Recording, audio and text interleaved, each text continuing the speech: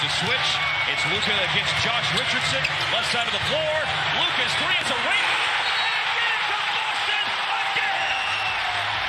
Born to get down.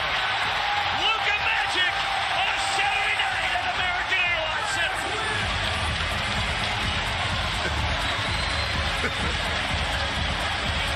the first 30 were great. How about the last three, though? I know we're supposed to be quiet. Guy here, man, is one of the most amazing late game players that I've ever seen.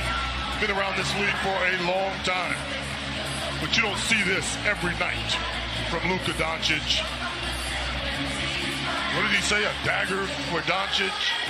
Oh, it was a thing of beauty.